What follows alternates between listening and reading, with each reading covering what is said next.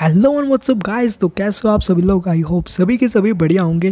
तो गाइस आज की वीडियो में हम बात करेंगे मेरे सबसे ज़्यादा फेवरेट प्लेयर के बारे में, जो कि मुझे लगता है रैंक गेम के अंदर पूरे वर्ल्ड में इनसे अच्छा कोई नहीं खेलता। Best mobile player M eight N तो गाइज़ आपने सही सुना होगा, कौन एमिटन का इतना बड़ा फ़ैन है, मुझे कमेंट सेक्शन में बता देना, और आपको कौन सबसे बेस्ट प्लेयर लगता है, वो भी बता देना। और गाइज़ मैंने यहाँ पर राज स्टार की ड्रेस पहन रखी तो आप समझ रहे होंगे राज स्टार का भी मैं कितना बड़ा फ़ैन हूँ।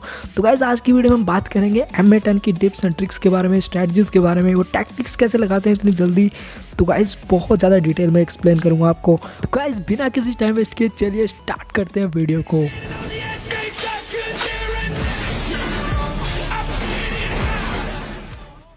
गाइज़ एमिटन की तो ऐसी बहुत सी चीज़ें हैं जो कि मुझे बहुत ज़्यादा अच्छी लगती है, लेकिन जो बेस्ट चीज़ मेरे को लगती है एमिटन की, वो है गाइज़ इनके टैक्टिक्स और दूसरा इनका डिसीज़न मेकिंग तो गाइज़ डिसीज़न ये इतना खतरनाक लेते हैं ना मतलब एनिमी सामने खड़ा है, चार बंदे एक साथ रश कर रहे हैं, फिर भी गाइज़ ये ऐसा नहीं सोचेंगे कि भाई मेरे को मारना है या क्या करना है, ये ऐसा सोचेंगे ऑप्टिमम सोच रखते हैं कि भाई मैं ऐसा क्या कर सकता हूँ कि मेरी हेल्थ कम से कम जाए और एनिमी डाउन भी हो जाए। तो गाइज़ ये चीज़ मेरे को बहुत अच्छी लगती है, कभी भी नर्वस नहीं होते हैं मतलब जो ऑप्टिमम सोच होती है वो रखते हैं तो गाइज़ ये इनको मेरे को बेस्ट प्लेयर बनाती है और दूसरी एक है डिसीज़न मेकिंग मतलब जब एनिमी सामने आ जाएगा, वो आपके सामने क्या क्या कर सकता है, उसके बारे में सोचना और मतलब चार बंदे एक साथ आ रहे हैं तो वो कंफ्यूज कैसे होंगे, उसके बारे में सोचना। तो गाइज़ ये चीज़ मेरे को इनकी बहुत ज़्यादा ज़बरदस्त लगती है। तो गाइज़ एक एक चीज़ पे हम डिटेल में बात करेंगे। So guys first of all हम बात करते हैं टैक्टिक्स की। तो गाइज़ इस पर जितनी वीडियो बनाऊँ उतने कम है, क्योंकि मैं कितनी भी वीडियो बना सकता हूँ, इस पर आप चाहो तो मैं कितनी भी वीडियो बना दूँगा, क्योंकि गाइज़ शॉर्ट रेंज के अंदर अपना डिसीज़न चेंज करना और मतलब किस सिचुएशन पे आपको कब निकलना है, कब शूट करना है, वो होती है गाइज़ टैक्टिक्स और कितना फास्ट आपको करना है, ये भी टैक्टिक्स के अंदर आता है। अब गाइज़ देख ही सकते हो, नीचे एक बंदा है, नीचे से आवाज़ आ रही है। अब जैसे वो आएगा, सीधा खड़ा होगा, तभी की तभी ये हेड मार देंगे। अब गाइज़ मेन चीज़ ये हेड नहीं है कि मतलब इन्होंने हेड मार दिया, इनकी सेंसिटिविटी ऐसी है, वैसी है। मेन चीज़ ये है कि कब आपको कवर लेना है, कब आपको मारना है, कब आपको शूट करना है और कब आपको कवर लेना है। अब गाइज़ देखो, जैसे ये बाहर आ रहे हैं और अंदर जा रहे हैं क्यों कर रहे हैं? मैं आपको फिर से एक्सप्लेन करता हूँ पूरा का पूरा डिटेल में। तो गाइज़ इस क्लिप को ध्यान से देखो, मैं स्किल्स के ऊपर बात नहीं करूँगा कि इन्होंने हेडशॉट कैसे मारा। तो जैसे ही इन्होंने इनके सामने बंदा आया, इन्होंने कवर लिया, फिर एकदम से बाहर आके हेडशॉट मार दिया। अब गाइज़ देखो, ध्यान से कि ये नीचे जाएँगे, क्योंकि इनको पता है सीढ़ी में एक बंदा बैठा है। और गाइज़ इनको पता नहीं था कि मतलब कहाँ पर बंदा है। अगर ये सीढ़ी के ऊपर ही होता तो ये वहीं से मार देते हेडशॉट लेकिन जैसे ही इनको पता चला कि नीचे बंदा वहाँ पर सीढ़ी में नहीं बैठा, और भी नीचे बैठा है तो ये ऊपर आ गए अब गाइज़ देखो एक एक चीज़ को मैं एक बहुत ही ज़्यादा एक्सप्लेन करता हूँ डिटेल में। गाइज़ अब स्लो मोशन में देखो, ये सामने जाते हैं, जैसे ही एनिमी ऊपर आता है, ये वापस पीछे कवर के अंदर चले जाते हैं और गाइज़ फिर से बाहर निकल के शूट करने लगते हैं। तो गाइज़ ये ऐसा क्यों करते हैं, ये मैं आपको बता देता हूँ। बहुत ही सिंपल है गाइज़ कि जैसे ही एनिमी ऊपर आएगा, उसको नहीं पता होगा बंदा किधर है, लेकिन जैसे ही थोड़ा बहुत भी दिखेगा उसको, तभी के तभी वो शूट करने लग जाएगा। और गाइज़ जैसे ही वो शूट करेगा, उसकी पोजिशन एकदम फिक्स हो जाएगी और इन, उसको नहीं पता होगा कि कब ये एनिमी जो एम एट एन है, वो कब बाहर निकल के मारेगा तो वो और भी ज़्यादा कन्फ्यूज़ हो जाएगा। तो जैसे ही वो शूट करेगा, तभी ये कवर से बाहर निकल के हेड मार देंगे, क्योंकि स्टैंडिंग बंदे को हाइट शॉट मारना बहुत ही ज़्यादा ईजी होता है। और गाइज़ थोड़ी मैं स्किल्स की भी बात बता देता हूँ। अगर शॉर्ट रेंज में आपको बहुत ज़्यादा सेंसिटिविटी चाहिए होती है तो गाइज़ आपको एक मोमेंट वाला बटन है ना, इसको दबा के रखना पड़ता है, उसके बाद आपको शूट करना पड़ता है। तो गाइज़ आपकी सेंसिटिविटी बहुत ही ज़्यादा इंक्रीज हो जाती है, वो भी शॉर्ट रेंज के अंदर आपके काफ़ी ज़्यादा हेडशॉट लगने के चांसेस बढ़ जाते हैं। सो गाइज़ अब नेक्स्ट टिप की बात करते हैं जो कि टैक्टिक्स के अंदर ही आता है, वो है गोड रशिंग तो गाइज़ आपको पता होगा एम टेन रशिंग के अंदर कितने ज़्यादा भगवान है। तो गाइज़ ये देखो सामने बनता है, एकदम कोने में खड़ा है, कभी भी निकल के मार सकता है। तो ये गाइज़ ये पहले कवर के अंदर जाते हैं छोटेस्ट जो कवर होता है, उसमें जाते हैं, फिर उससे निकलते हैं, फिर उसके बाद फिर से उसके पास जाते हैं ताकि एनिमी बहुत ज़्यादा कन्फ्यूज़ हो जाए। अब इसके बाद देखो सामने बंदा है, उसको पता ही नहीं कहाँ पर बंदा है, किस वक्त वो निकल के मारेगा। तभी कि तभी गाइज़ वो हेड मार देते हैं। आप गाइस समझ गए होंगे कि मतलब कभी भी सामने जो बनता है शॉर्ट रेंज के अंदर भी आपको हमेशा शॉर्टेस्ट जो कवर होता है, वो लेना चाहिए, ताकि एनिमी को अपना दिखे भी नहीं। मतलब अगर आप शॉर्ट रेंज के अंदर, इतना जल्दी उसके अंदर कवर में चले जाओगे तो एनिमी को पता ही नहीं चलेगा कि कब आप कवर से बाहर आ गए और कब आप कवर से अंदर जाके मार रहे हो। सो गाइज़ नेक्स्ट टिप है हमारी अवॉइड ऑब्स्टेकल्स तो गाइज़ इसी क्लिप को मैं फिर से दिखाऊँगा कि मैंने एक और चीज़ नोटिस की थी जो कि आपने नहीं की होगी. तो गाइज़ जैसे ही एक बंदे को इन्होंने नॉक किया तो ये सीधा वापस इसी कमरे में ही क्यों जा रहे हैं? मतलब शॉर्टेस्ट जो मैंने आपको टिप दी थी तो इनको तो राइट वाले कमरे में जाना चाहिए था ना?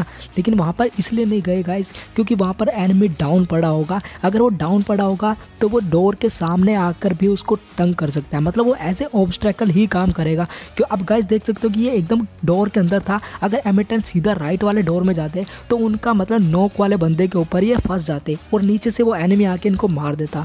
तो गाइज़ इसका भी ध्यान रखना पड़ता है कि सामने कोई ऑब्स्टैकल ना आ जाए मतलब मूवमेंट स्पीड के अंदर कोई ऑब्स्टैकल आएगा तो गाइज़ बहुत ज़्यादा प्रॉब्लम फेस करना पड़ता है। सो गाइज़ आई होप कि आपको एक एक चीज़ समझ आ गई होगी कि ये छोटी सी छोटी चीज़ को भी इतना ज़्यादा इंपॉर्टेंस क्यों देते हैं। और गाइस शॉर्ट रेंज के अंदर आपको टिप्स एंड ट्रिक्स चाहिए कि डिसीज़न मेकिंग और टैक्टिक्स के ऊपर तो भी मेरे को बता सकते हो। और गाइज़ मैं ऑलरेडी एक वीडियो बना चुका हूँ जिसके अंदर मैं सोलो वर्सेस स्क्वाड गेम खेल रहा था। और गाइज़ बहुत ज़्यादा मैंने वहाँ पर टैक्टिक्स भी लगाई और वहाँ पर काफ़ी ज़्यादा डिसीज़न मेकिंग मैंने आप उनको समझाया है, जो कि गाइज़ शायद आपने नोटिस नहीं किया होगा। लेकिन धीरे धीरे गाइज़ अगर जितना ज़्यादा आप गेम खेलोगे, जितना ज़्यादा ऑब्ज़र्व करोगे, उतना ही आपकी टैक्टिक्स बढ़ जाएगी। आपका जो देखने का नज़रिया है मतलब क्या चीज़ आपको नोटिस करनी चाहिए, क्या चीज़ नहीं करनी चाहिए, वो काफ़ी ज़्यादा इम्प्रूव हो जाएगी। सो गाइज़ नेक्स्ट बहुत ही ज़्यादा इंपॉर्टेंट है, जो कि guys you can not win against high numbers तो गाइज़ एनिमी की अगर आपके से ज़्यादा नंबर्स हैं मतलब वो तीन या चार बंदे हैं, और आप अकेले हो, अगर वो आपको एक साथ शूट कर रहे हैं तो आप कभी भी उनसे जीत नहीं सकते। तो गाइज़ एमिटन कैसे इनसे जीत जाता है, ये भी मैं आपको बताने वाला हूँ। तो गाइज़ देखो कि ये पूरी क्लिप को एकदम ध्यान से देखना, ये कभी भी दो बंदों के सामने एक साथ शूट करते ही नहीं है। मतलब इनके सामने अगर दो बंदे इनको शूट कर रहे हैं तो ये अपनी पोजिशन को ऐसा बनाएँगे कि ये सिर्फ़ एक ही बंदे को विजिबल होंगे। तो कैसे एक चीज़ को मैं एकदम ध्यान से समझाने वाला हूँ अब। तो क्या क्लिप को ध्यान से देखना कि जैसे ही इनको पता चलता है नीचे से बंदा आ रहा है, पूरा एकदम ईयरफोन लगा के रखते हैं कि कहाँ से बंदा आ रहा है, सब कुछ पता होना चाहिए। तो गाइज़ एक टिप ये भी है कि हमेशा ईयरफोन्स लगाने चाहिए ताकि एक एक बंदे की लोकेशन पता चल जाए। तो अब गाइज़ ध्यान से देखो, इस वक्त ये बंदे जब जैसे इन्होंने शूट किया ना बाहर निकल के, अब तीन में से सिर्फ़ एक ही बंदे को पता था कि यहाँ पर बंदा है तो जैसे इन्होंने शूट किया, काफ़ी हेड मारा। अब गाइज़ देखो, इन्होंने वहाँ पर भी रह सकते थे ये। मतलब जो पोजिशन होती है जहाँ बाहर निकलने वाली, वहाँ पर भी रह सकते थे, लेकिन यहाँ पर क्यों नहीं रहे? क्योंकि गाइज़ इनको पता था कि जैसे ही एनिमी रश करेगा, उनको पता था कि ये इधर ही बैठे होंगे। इसीलिए इन्होंने फिर से डायरेक्शन को चेंज किया। अब गाइज़ इस वक्त देखो, फिर से जब ये शूट कर रहे हैं, सिर्फ़ एक ही बंदा इनको शूट कर पा रहा है। बाकी दोनों बंदे कंफ्यूज है कि ये कहाँ गया। अब गाइज़ देखो, फिर से सामने दूसरा बंदा भी विजिबल है, पहला बंदा भी विजिबल है। लेकिन ये क्या करेंगे, जैसे ही शूट करेंगे तो थोड़ा पीछे आ जाएँगे, ताकि वो पीछे वाले बंदे को विजिबल ना हो। तो गाइज़ जैसे इनको विजिबल नहीं हुआ, तभी इन्होंने ग्लोबल मार दिया। क्योंकि वो सामने आके सीधा अगर शॉट गन होगी तो वो सीधा रश करके इनको हेडशॉट मार सकता था। तो इन्होंने ग्लोबल लगाया। अब इनको पता चला गाइज़ कि ग्लोबल तोड़ना पड़ेगा क्योंकि वो दूसरे बंदे को रिवाइव कर रहे हैं। तो गाइज़ जैसे इन्होंने ग्लोबल को तोड़ा, सामने दो बंदे आ गए। अब एक बंदा पूरा रिवाइव पे ध्यान दे रहा था तो इसलिए शूट नहीं कर पाया। लेकिन जैसे ही दोनों बंदे एक साथ रश करने लगे ना, गोलियाँ मारने लगे, तभी इन्होंने ऐसी पोजिशन मेंटेन की कि सिर्फ़ एक ही बंदे को विजिबल हो। तो गाइज़ पूरा दीवार के अंदर भिड़ गए थे। देखा ना, जैसी दीवार में भिड़े, सिर्फ़ एक ही बंदे को विजिबल थे। दूसरा वाला एनिमी इनको देख भी नहीं सकता था।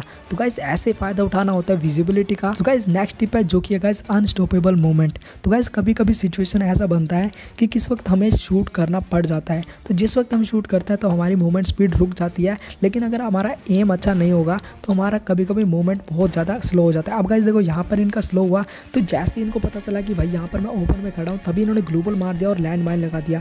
तो गाइज़ यहाँ पर इनको लगा लैंड माइन मर जाएगा, लेकिन नहीं मरा। अब गाइज़ देखना, यहाँ पर इनकी हेल्थ कितनी ज़्यादा डाउन हो जाएगी। लेकिन गाइज़ इनकी आप स्पीड देखो कि मतलब कहीं पर भी रुक ही नहीं रहे हैं। कहीं पर भी अगर जहाँ रास्ता मिल रहा है, वहाँ से मतलब होकर गुजर रहे हैं। चाहे पीछे बंदा एनिमी मार रहा है। तो गाइज़ आप मोमेंट का इंतज़ार कर रहे हैं कि कब एनिमी मतलब एकदम ऐसी पोजीशन पे आएगा कि जहाँ कंट्रोल नहीं होगा उसका। तो गैस इस मोमेंट तक तो ये अपने आप को बचा रहे थे। एनिमी का कंट्रोल था इनके ऊपर लेकिन इनका कंट्रोल नहीं था उन पर तो जैसे इनको पता चला कि एनिमी अनकंट्रोल हुआ तभी इन्होंने हेडशॉट मारा गैस नेक्स्ट टिप की बात करते हैं जो कि है शूट और run when enemy is right in front of you तो गैस काफ़ी लोग बड़ी बड़ी गलती ये करते हैं कि बहुत ही ज़्यादा शॉर्ट रेंज के अंदर वो ग्लू बॉल मारने लग जाते हैं जब उनको लगता है सिचुएशन आउट ऑफ़ कंट्रोल है। अब गैस देखो यहाँ पर मैं ऊपर जा रहा हूँ। जैसे मुझको एनिमी मिला मैं गोलियाँ मारने लग गया। जैसे मुझको पता था ना कि मेरे को गोलियाँ इतनी ज़्यादा रिकॉल होने वाली है तो मैंने गोलियाँ छोड़कर सीधा उसको मुक्के से मारने को सोचा। तो गाइज़ इससे क्या हुआ कि एनमी उस वक्त ग्लू बॉल मारने लग गया। अब गाइज़ खुद ही देख सकते हो, जब आप स्लो मोशन में फिर से देखोगे तो जब जब मैं उसको मुक्का मारने जा रहा था, उस वक्त वो ग्लू बॉल मार रहा था तो इतनी शॉर्ट रेंज के अंदर ग्लू बॉल मारने का कोई भी फ़ायदा नहीं है, क्योंकि एनमी आपको शूट कर रहा होगा और आप ग्लू बॉल मारते रह जाओगे। So guys very short range के अंदर एक और एग्ज़ाम्पल देख सकते हो। यहाँ से मैं बाहर जा रहा था, मैंने एनमी को मार दिया था। मुझे ये नहीं पता था गाइज़ कि नीचे बंदा यहाँ पर मेरा वेट कर रहा है। तो गाइज़ जैसे ही पता चला, मेरे पास शॉर्ट रेंज कोई भी गन नहीं है, मैं सीधा ऊपर भागा और गाइज़ ये मेरे पीछे पीछे भाग रहा था और गाइज़ मुझे पता था कि इतना शॉर्ट रेंज के अंदर कोई भी इतना क्विक डिसीज़न नहीं लेता है मारने का। पीछे मुड़ के कौन मारेगा एकदम से सीढ़ी के बीच में? तो मेरे को भी ये पता था कि ये शॉर्ट रेंज में इतना डिसीज़न नहीं ले पाएगा। तो मैं ऊपर जाके सीधा कटाना से मारा। गाइज़ नेक्स्ट टिप हमारी, जो कि है फोकस ऑन एवरी साउंड तो गाइज़ साउंड बहुत ही ज़्यादा इंपॉर्टेंट होती है। कोई भी गेम के अंदर मतलब फ्री फायर ही नहीं सभी गेम्स के अंदर साउंड बहुत ज़्यादा इंपॉर्टेंट होती है। तो फ्री फायर के अंदर कितनी इंपॉर्टेंट होती है, ये मैं आपको अभी दिखाता हूँ। तो गाइज़ इस क्लिप में मैंने फुल आवाज़ कर दिया ताकि आप एक एक चीज़ को नोटिस कर सको। गाइज़ एक एक साउंड को आप नोटिस करना कि आपको क्या पता चलता है।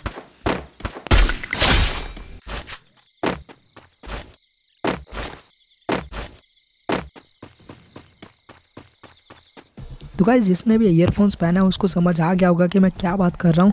यहाँ पर मैंने जैसे ही बंदा मारा, मैं पीछे की साइड आ जाता हूँ। यहाँ पर मैं एक बंदा ढूंढता हूँ तो मुझे कैसे पता चला बंदा यहाँ पर है? तो गाइज़ यहाँ पर मुझे बंदा मिल भी गया और गाइज़ मुझे कैसे पता चला यार, यहाँ पर एक बॉम्ब की साउंड आई थी। जैसे ही मैंने एनिमी को मारा था तो गाइज़ इसको भी मैंने हेडशॉट मार दिया। ये बंदा टीमिंग कर रहा था और गाइज़ मुझे टीमिंग बिल्कुल भी पसंद नहीं है। चाहे कोई फैंस भी आ जाए या कुछ भी आ जाए, अगर आप मेरी गेम में आते हो तो गाइज़ मुझे मारने की सोचना, कभी भी फ़ैन वेटिंग मत करना, क्योंकि मुझे टीमिंग बिल्कुल भी पसंद नहीं है यार।